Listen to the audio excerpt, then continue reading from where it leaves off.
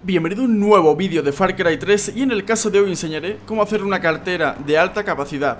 Una cartera de alta capacidad nos permitirá llevar hasta 6.000 dólares en el bolsillo y para conseguirla lo único que necesitamos son dos pieles de tiburones, que ya tenéis un vídeo en mi canal de cómo conseguir las pieles de tiburones, que es bastante fácil.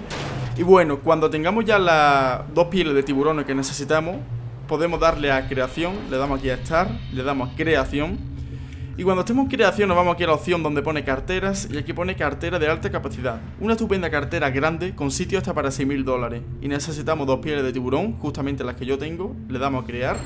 Y ya tendremos la cartera de alta capacidad creada. Y así de esta manera tan sencilla se consigue. Así que nada chavales, voy a dejar este vídeo por aquí. Espero que os guste y nos vemos en la próxima. Adiós.